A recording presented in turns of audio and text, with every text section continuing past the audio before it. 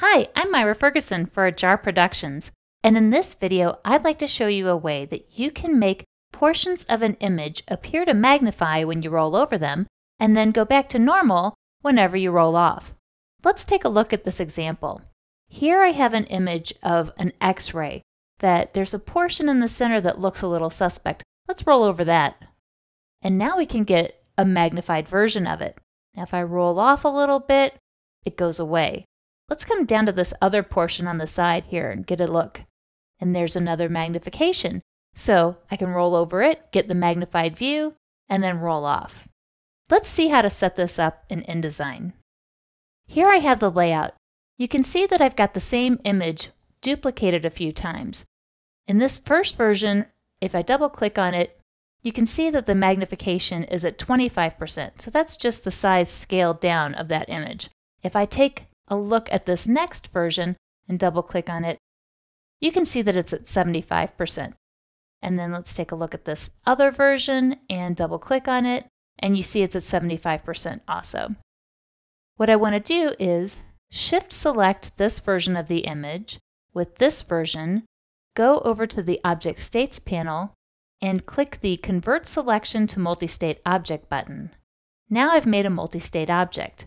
But what I want to do is have a state where nothing is visible. So I'm going to add an empty state.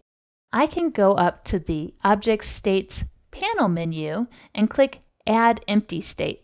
And now I have this empty state, which isn't exactly empty, it just appears to be empty, with this rectangle here that has no stroke and no fill. Now what we need are some invisible buttons. And this is where we can make it so that the object state that we want to appear shows up. Let's make an invisible button. Here I'm going to make a rectangle over that area in the center that looks like it's got something of interest. And then I'm going to make another rectangle over this area. To make an invisible button though, I want both of these to have no stroke